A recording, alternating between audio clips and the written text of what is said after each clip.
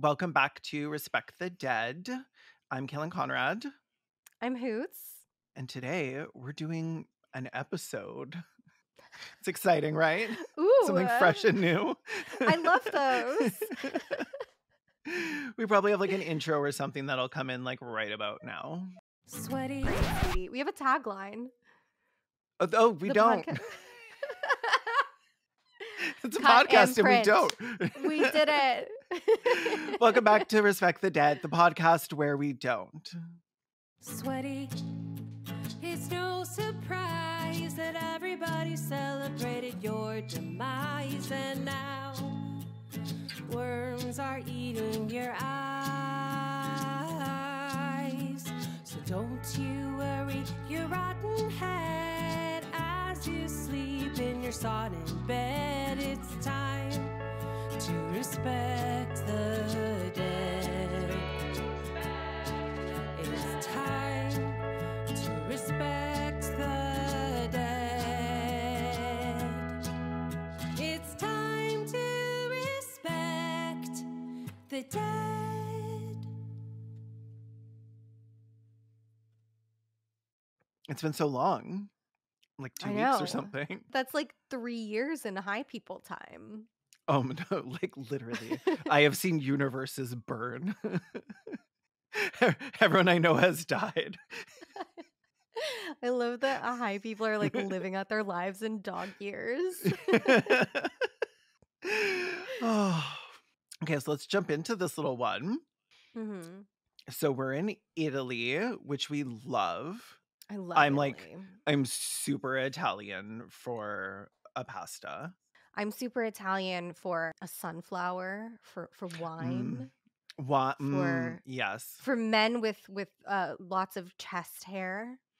Ah, and like a gold chain. Oof. Oh, nasty. I love it. I'm so Italian for a nasty I love a man. nasty chest hair. I love a gold chain ripping the hairs out of his chest. oh yeah, with like there's like a bunch of hair, like scraggly hairs. stuck in the links. so so it is a statement necklace, but it didn't start that way. he lets me borrow it sometimes. like It smells like him. brush it out. It, brushing it out. Okay, anyway, so we're in Italy. The year is 1571, which is like a thousand years ago.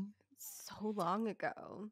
And a dude named Michelangelo Merisi de Caravaggio, Oh my god, I've heard of which him. Which is a gorgeous name.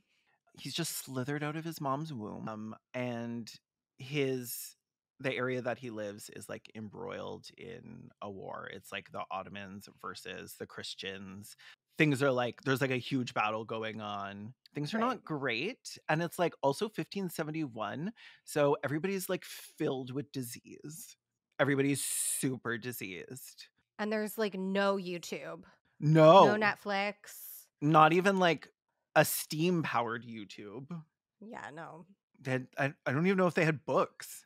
So we're like bored when we're not suffering. Yeah. Like bored Um, is like bored is like the best you can hope for. Imagine being bored and suffering. Like, that's that's a mental feat. well, I think it would just be the new norm. Mm, yeah, like the way everything starts to hurt the older you get. Yeah. Like your body just always has like a constant ache.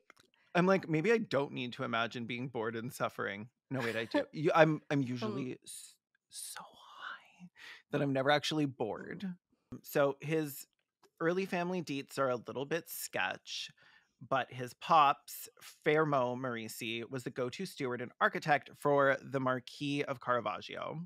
When he was six, the bubonic plague, like they had a little party at the house and it wiped out like most of his family, including his That's dad. my least favorite plague. I know it's so gross. Like favorite it- though? Locusts. yeah, frogs for me. Oh, Like that's oh, so oh, that's cute. tough. Locusts are annoying, yeah, like- locusts are annoying. Frogs are adorable. and frogs would eat the locusts. Like if you had frogs everywhere, there would be no mosquitoes fucking with you. You're right. Frogs Yeah. is the best. Yeah. Like Bubonic plague, however, is not. no, is not even in a top three. Biographer Andrew Graham Dixon wrote in Caravaggio, A Life Sacred and Profane, that he was practically hardwired to break the rules. He can't resist it.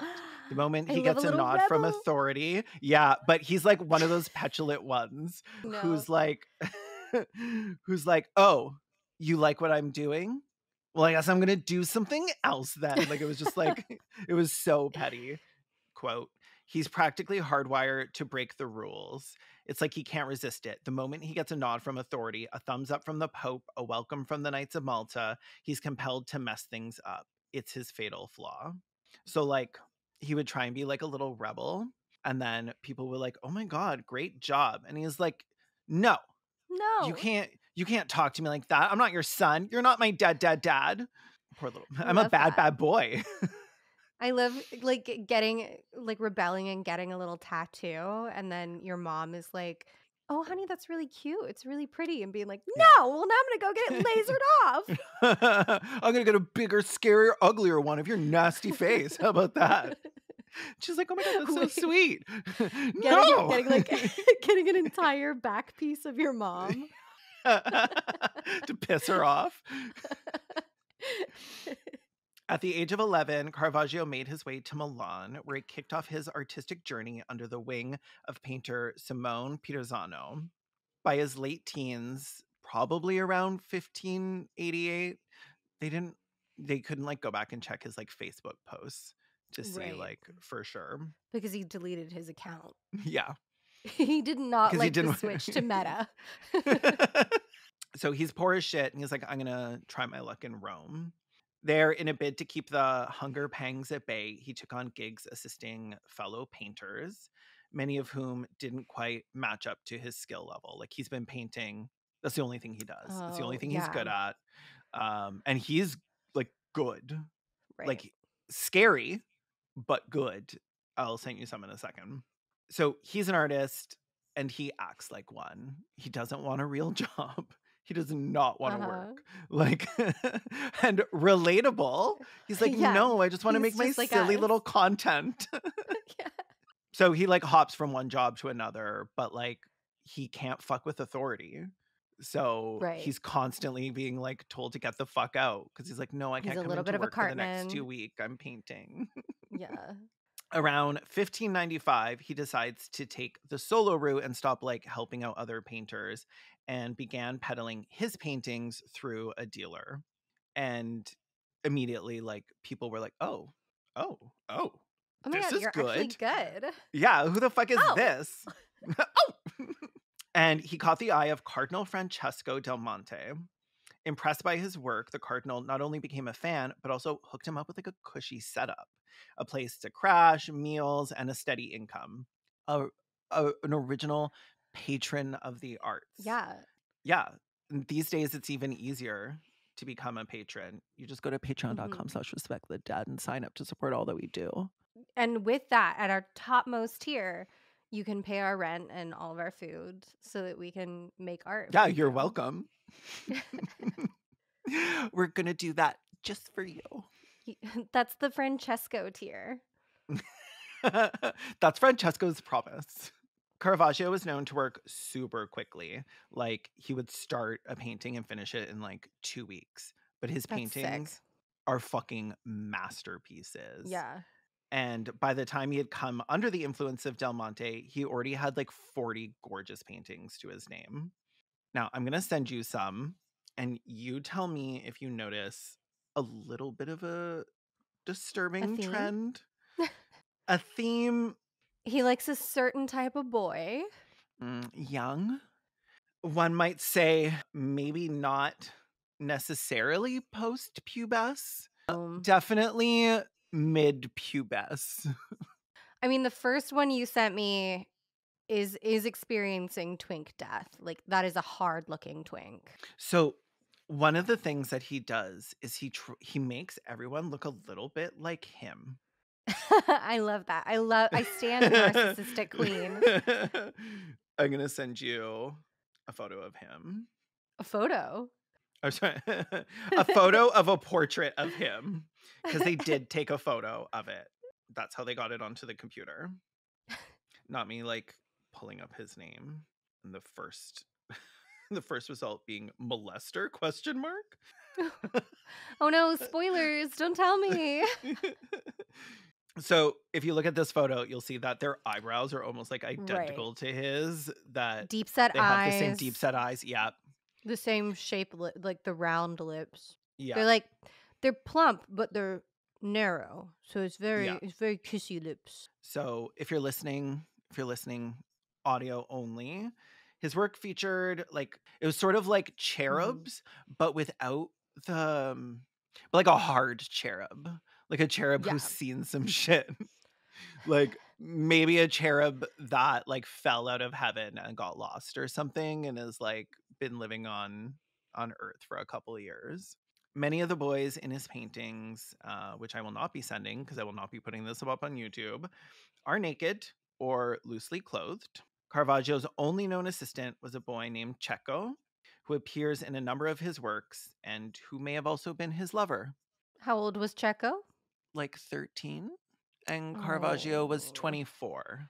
So people Oh, are saying lover, Caravaggio. but Mm. um I don't love that term. Uh, I don't know why Yeah. I said it. I'm like so scared of getting libeled. I'm like he is dust. like no he cannot sue me. The corpse Yeah. can't hurt you, Caelan. But the Italians are gonna come for you for this one.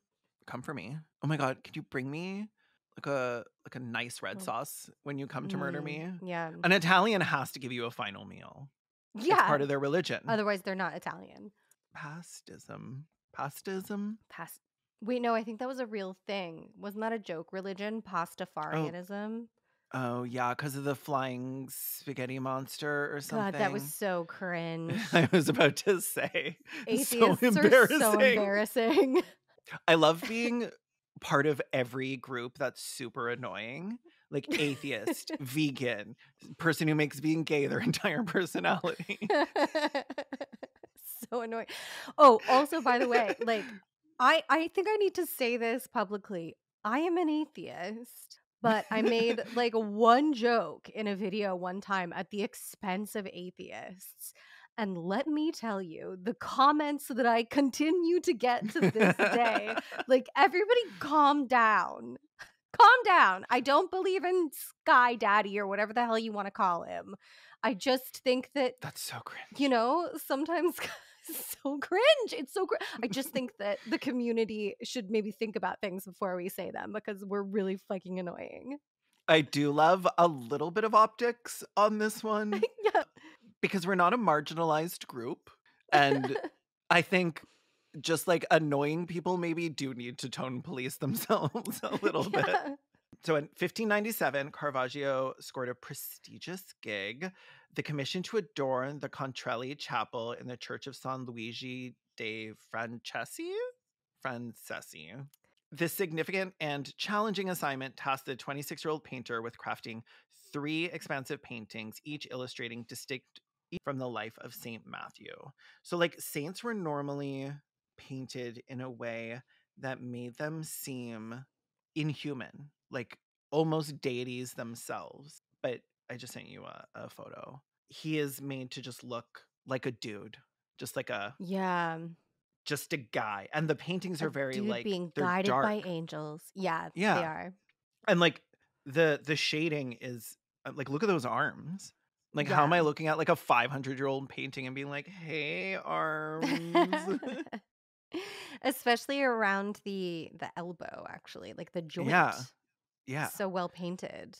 he's very he's very talented like there's a Yeah. reason people and like sometimes i look at old paintings and people are like it's a work of art and i'm like it's a work of shit looks bad man like looks Like, bad my five year old could draw that. yeah. Uh, the fruits of Caravaggio's labor emerged in the form of three pieces St. Matthew, the angel, the calling of St. Matthew, and the martyrdom of St. Matthew. And they're all like this kind of vibe.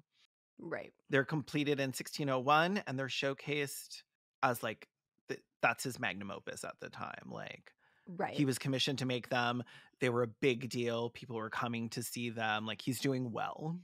But they stirred up quite a fuss among the church and the general public because it wasn't like a regular saintly portrayal and people felt that it was like blasphemous. Like Disrespectful. back then, people saw Mhm. this and they're like, Are you showing a saint's fucking gorgeous little feet? Like Mm. for Are you showing his free? bald head? Yeah, like no halo, nothing to show him as anything other than just some dude. And you like put that behind a paywall. Yeah. I'm adding St. Michael's feet to celebfeet.com tonight. His initial rendition of St. Matthew and the Angel caused so much distress, that's the one I sent you, among his patrons that they made him do it again, like do a second one. no. Yeah. Did they make him put And- shoes on him? No. it would have been really like a nice like pair of Reeboks. I think he just panned Actually, up. That looks so cute. Okay, they just panned up. They just cropped. Yeah. but he actually took it as like a challenge. Like, okay, yeah, I can do that, See if I whatever. can recreate it. Yeah. Yeah. It allowed him to elevate traditional religious imagery and infuse it with his distinctive style. So he was like sort of trying to figure out like his niche, you know? Like he wanted to be like, okay, Mhm. what can I do that's still me, but that like people aren't going to like behead me over or whatever. Right. But he I don't know, I don't think he could do it. Like he kept needing to like push the boundaries. Like his biblical scenes would be because he wasn't being commissioned, he would be like, "Well, I'll just do whatever I want then." He didn't want to take sponsors. Right. I do love the way, like, it's very Catholic Church how he's like pushing boundaries with paintings and they're getting mad about, like, you know, him painting some guy's feet, but they're fine with him fucking a 13 year old boy. Yeah, of course. just Catholic Church. It's just, Just Catholic. you know, some things. change, just Catholic things. Some things change and some things stay the same. so his biblical scenes now teamed with the presence of sex workers, beggars, and thieves that he would encounter on the streets of Rome. That's dope. Yeah, I know. The Contarelli Chapel Commission not only brought some financial relief, but also catapulted him into the limelight, opening up a floodgate of exposure and a bunch of more projects coming in. Mm. His artistic output in the following years encompassed he was very Christian, like the crucifixion of St. Peter, conversion of St. Paul, deposition of Christ, and the renowned death of the Virgin, which is like, I'm going to send to you right now and is legitimately fucking dope. They were also mad about this. He must have had a foot thing because Mary's little Mary's little toesies are in little this one. Feet. Yeah, they're hanging out. You were not Yeah, supposed to be able to like see upskirt pregnant Mary. Almost all of his success was controversial like this. Like he just couldn't Right. fucking stop himself. I love it though. If he had Twitter, he would have been canceled like multiple times. There would have been so many like Oh God, threads that's so screen- great. with Uh, screenshots of his tweets and his work. of his work, screenshots of his paintings. Just like, yeah, I know. yeah, I know I made that. yeah. honestly like almost all of his success was tumultuous um but like because he was That breeds more success though. Like, Yeah. you know, no publicity is bad publicity until the Catholic Church burns you at the stake or something. yeah which like you know it happens But then your paintings are so much more valuable because you can't make any more. yeah but like not to you like i feel like people are like oh yeah paintings like your art is worth so much more when you're dead and i'm like but i can't sell it I don't I don't profit, get that so I don't care. so he has a lot of mood swings. Basically, what would happen was he would lock himself away for like two weeks, do a painting, and then come out like pissed and drunk, like looking for a fight. And like be like, okay, time to go like drink and gamble, and then harass somebody on the street at like 3 a.m. Frequent brawls, like just like walking up to someone and like punching them in the face or whatever one of which led to him serving uh, just a cute, brief little stint in Pris in 1603 after he like punched the fuck out of another painter. Whomst among us hasn't had to sleep it off in the drunk tank after punching Yeah. another artist in the face? Sometimes it's sort of like drama content. it. Yeah. Caravaggio's life was a whirlwind of legal troubles and turbulent relationship from getting nabbed for toting a sword without a permit to mm-hmm. facing a lawsuit for beating a man with a stick that he like found on the street. He just like picked up Okay. a branch and started like whipping. That rocks. Also, I can't believe they had sword licenses back then. They literally controlled weapons tighter than they do in the US today. I don't know if there was like a background check for them, but you definitely you couldn't just like run around with one. Mm. Between 2 and 3 a.m. is almost always when these fights happened. So he was drunk. Yeah. Oh, 100%. It's the witching hour. Like, yeah, it's not his fault. he would go to the pub, he'd get fucked up, and then he'd go try to fuck someone else up With a stick that he found with a stick that he found. It's all like, it is all very Italian. Oh, 100%. I'm so Italian for beating men with a stick. Truly. Especially on their pretty little feet. hmm. It's better not awaken anything in me. Hmm. This better not awaken anything in me. During this chaotic period, Caravaggio found himself entangled in a stormy rivalry with Giovanni Baglione. Ooh. I love all these such names. an Italian name. I know. He was a fellow painter who once accused him of plotting his assassination, which, like, I believe he would have. Yeah. In 1603, Tracks. Baglione took Caravaggio to court for libel. Amused by the lackluster reception of a Baglione altarpiece, Caravaggio expressed his delight by composing satirical poems about his work and circulating copies in the artist's quarter. That's so extra. I know. He wrote he wrote bars about him and then passed them around. yeah. Yeah. To like all his friends. Would you like my bars? Would read some of this? Oh, I said something really cunty right here. Oh, he did. Hold on. I have a, a little excerpt for you. In the lens of modern sensibilities, this may seem like just being like mischievous, but not criminal. But like the poems were like news back then. Like that, that Right. is like that today would be the same as like tweeting out something about someone. Here's an excerpt. Wipe your ar- about this is about his poems. Wipe your arse with them or stuff them up the cunt of his wife because he isn't fucking her anymore with his donkey cock. And like number one, tell me more, Tell me about, more about this the donkey donkey, cock. cock. That's so much. it's really aggressive. Yeah, it's so aggressive. And like I don't know that it's a poem either. Shove it up your wife's cunt. Like, oh my god. I think we- I think we all need to like simmer down a little bit. Yeah, let's Like, and like and let's not involve people's wives. yeah. Like What did she do? what did she ever do to anyone? Not surprisingly, him and his wife were not charmed by Mhm. these poems. And he was taken to court for libel. I don't even know what part of that is libel. It's like, my cock is actually teeny tiny. yeah. This is a lie. Well, they used to like to paint people with with tiny cocks, so maybe you're onto Yeah. something. Maybe that was the libelous part. Like he was like, "Excuse me, I do not have a massive penis." God gave me a humble peen. So he got two weeks in jail for this. I wonder if I wonder if Baglione had to like pull out his chode in court to prove his case. Like, God. see, Your the, Honor. like- see, Being the stenographer would be so hilarious. my knuckles are the balls. these these two nuts. So he keeps getting in trouble.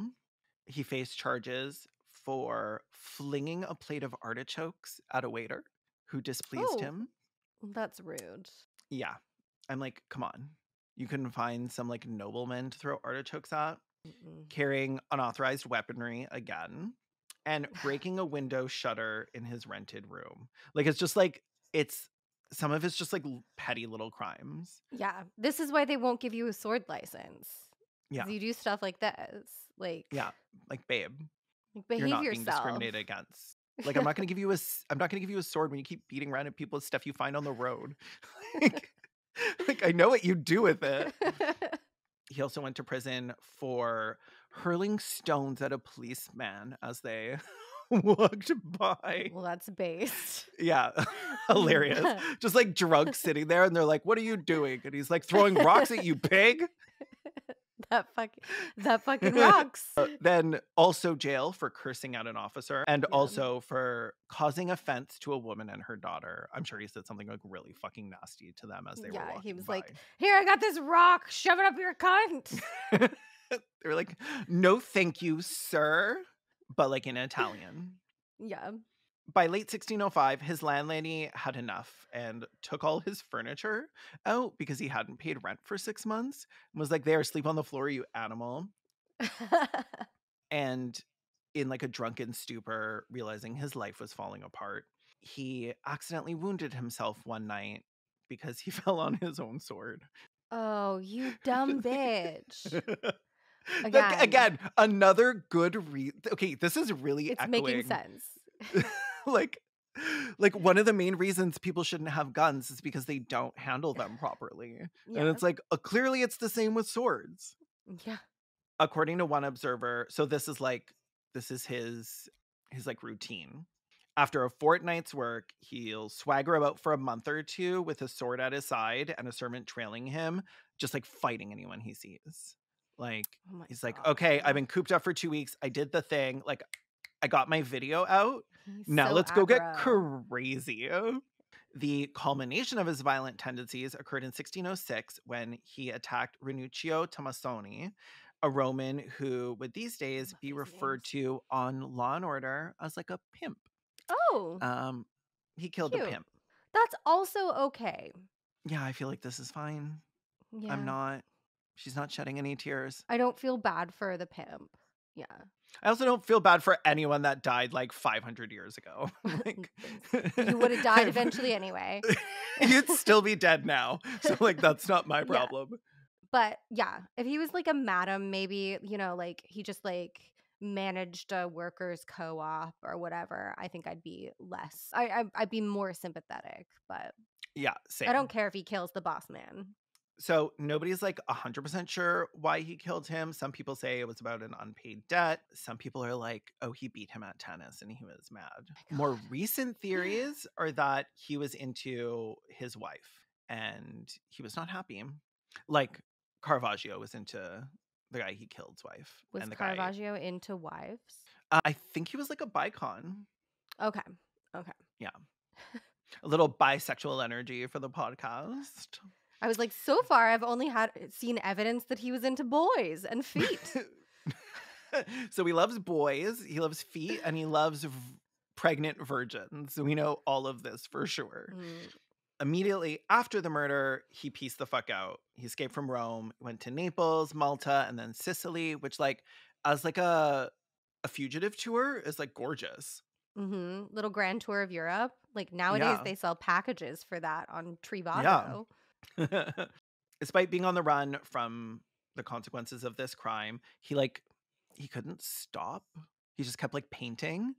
And then people would be like, "Hey, that looks like a Caravaggio." Wait. like why are you so bad at this? Like he was painting for other people and like doing it under Yeah. other people's names and they were like, "Okay, like I can tell that it's you." Like this is very clearly Yeah. Caravaggio's work. Babe, just like change up your style a little bit. I know. Go through a different period, you know, like Picasso had his fucking blue period or whatever. Be like, this is Caravaggio's. I'm gonna use lighting period. Yeah, that like three weeks where he put people's eyes in the right place. yeah. So good. They're like, it looks like a Picasso, but it's clearly not. Look at the symmetry on this face. During this period, he presented one of his more startling works, Resurrection, where he depicted a Jesus Christ that was far from the conventional saintly image, looking like sort of like disheveled after resurrecting from the tomb. like normally a he's like hard sleep. glorious. Yeah. he normally looks like like glorious, like I hath returned. yeah. Uh, and this is like he looks like he just pushed a like eight thousand pound rock out of the way of a cave. yeah. I'm, set- I'm setting it to you right now. Jesus, where are you? I love his little loincloth. yeah, I mean, like eh, body looking good, face. Mm, Yeah, like it is kind of like me when I emerged out of COVID quarantine. the six weeks Like- when we were doing that. like he is supposed to be perfect. Like absolute perfection. And he just kind of looks like a dude. Like he still also doesn't have the like I don't even know what they call it. Like I guess the halo. Um but like the He's got a little bit of of glow behind, like somebody put a light. Yeah, behind yeah. Him. He's got a little hair glow. he's backlit. yeah, he's backlit. but like a nat like a natural backlight, not like Yeah. God's divine grace. Yeah. The portrayal undoubtedly mirrored the turmoil in his life because at this point he was like he's fucked. Like he's Mhm. haggard, he's poor, he's being chased, like he is a fugitive. Oh yeah, I bet he had really bad eye bags. Yeah, and he was never he wasn't like sleeping. All reports say Right. he like laid in bed with a dagger at his side every night. Like that's so stressful. also a bad idea if you've already fallen on a sword. Like, Put it on the end table. Well, he's probably like sleeping on the ground, so maybe he doesn't have sleeping with my table, but, like- dagger under my pillow and then like slipping my hand under when I'm sleeping. Ow! I forgot I put that there. his the guy that he killed in 1606 not the end of him like just violently assaulting random people because it's kind of his Yeah. fave things that he loves feet pregnant virgins little boys violently assaulting people this is why he's on the podcast FYI. We have to stop this man. oh don't worry Good. I forgot July- what podcast I was on. Happy endings. this happens to me all the time. In 1608, he assaulted Fra Giovanni Rodomonte Roero, a highly esteemed knight in the Order of St. John in Malta. Mm. This altercation led to his arrest and subsequent imprisonment for the assault. But of course, like all messy queers, he escaped from prison like a month later. Nice. It is very Casanova. Again, it's very Italian. Yeah. So the dude he assaulted is like, I don't fucking think so. Like we've had enough of this fucking little creep. So Yeah. they start hunt like like actually like hunting him down. Cause you also don't like assault a knight. That's like punching a cop and then trying to run. Like these bitches are Yeah. gonna track you down. He this is the first law. criminal they're gonna catch in like the last Mhm. year. All of his buddies are on the case. Yeah. So he tracks him down, finds him in Naples, and confronts him outside a tavern. And during the fight, like fucks up his face bad, like Ooh. including his eyes. So now the paintings get a little like less cute. Is he like partially blinded? yeah. And like not, I don't know, artists are kind of like stuck up. Like he was probably really mad that his beauty had been taken away from him. Definitely. And like would be. obviously he's now both killed someone, assaulted a lawman, and escaped from prison. So things aren't looking yeah. great. He's a fugitive. Yeah. So he's like, okay, there's only one person that can save me the Pope, because the Pope could give him Okay. a pardon. So, informed that efforts were underway by friends to secure this pardon, he escapes again and heads to Rome, sailing from Naples. Um, but during his journey, he gets stopped in Palo when he goes to like get supplies, and they're like, "Mm, "We know you. Everybody's looking for you." They sent out like I don't know medieval pigeons or whatever with copies of his face on like a wanted poster. Mm. They were like, those eyebrows look so familiar. if you've ever seen one of his paintings, you would recognize his eyebrows. like so they detained him, but because he's on his way to the Pope and they're looking for a pardon, they're like, okay, well, we can't just like we have to let the Pope decide now. Like he's going there, the Pope's either gonna say yes or no. We're not gonna like be like, um, actually, I think I know better than the Pope because that gets you very dead very quickly. Mhm. the Pope doesn't like that when you say that because yeah. his job is like knowing the best. Um, but when he got to, to the port, Port Ercole, uh, which is where he was his final destination before getting to the Pope, he got super sick and just died. Just like just died Oh. right there before ever being pardoned. Just dropped fucking dead. I don't know what he had, but I'm assuming it was some sort of plague. Mm. Did they say anything about his back then. symptoms? No, it could have been Was he, scurf. like, throwing up. Could have been. I could have been syphilis. Wait, no, that would have Mm. taken longer. yeah, Could have been an appendicitis. yeah. he was like 30. So it definitely wasn't just like old age. It was something. Yeah. Yeah. But nobody was like writing down notes about it. Like one of the things that I always find the farther back we go, even if the person is like extensively written about, it's always like, well, we don't know if these are lies made up by their enemies. So like yeah. Mm, take it with a grain of salt regardless. Oh my god. I believe that though. Now that I'm thinking about it, I'm like if somebody were to like Google me, they would probably find a lot of lies told by my enemies now.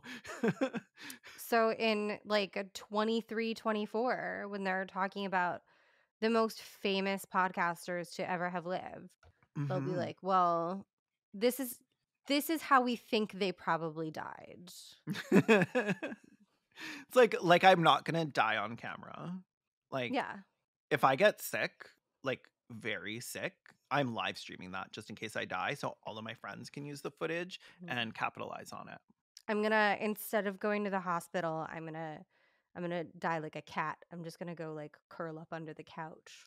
die like a wait for someone to find me. curl up under a table, and die. yeah. So post his being super dead and in today's the way people look And- back at him today is like yeah. In today's great woke painter. society, say what you want to say. molester. like like it Joe is very Biden's woke America. in Joe Biden's woke America, you can't even like a painter who is like probably a child rapist anymore. yeah. In 2010, Rome hosted an exhibition commemorating the 400th anniversary of his death, drawing in over 580,000 visitors, which is like insane. Jesus Like, Christ. Half a million. 580,000 people went there to see tiny little boy dick. I thought you were gonna say 580, and I was like, "That's a lot." And then you kept the word kept going. 580,000. That's insane. 580,000 people were like, who wants to see naked little boys? I want to see these little paintings by a rapist. I only like art that makes me sick. Same. Blech. Uh, anyways, I'm Caelan Conrad. You can find me on Twitter at Caelan Conrad. It's still called Twitter, by the way.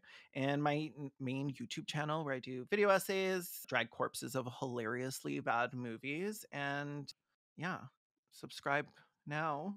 to me. And I'm Hoots. You can find me on Twitter. You can find me on x.com at punished hoots.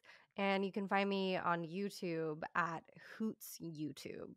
If you want to suggest someone else for us to cover, you can do that on our Patreon. You get access to our suggestion cemetery, where you can submit a name, as well as a key to the morgue, where we debrief after every episode in our autopsy report minisodes. Uh, if you're watching on YouTube, where we now have full episodes that are all video, you can see our gorgeous little faces. Don't forget to hit subscribe and turn on the bell so you get notified every week when there's a new episode. And if you're on like a podcast app, give us like one of those sweet minimum five stars. If you can find a way to do more, that would be amazing. Okay, bye everyone. Bye. That's a normal thing that we do, right?